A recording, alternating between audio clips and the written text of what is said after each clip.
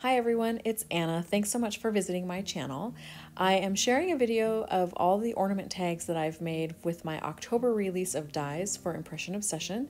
The theme for this month was A Country Christmas, and so not only are you going to find things like cowboy boots, which look really cool on masculine tags, there's also a stitched cowboy boot tag die, there is the word joy and jolly, which looks so fun die cut from silver foil cardstock. And there's also a country snowflake that looks perfect on the large mug that was previously released.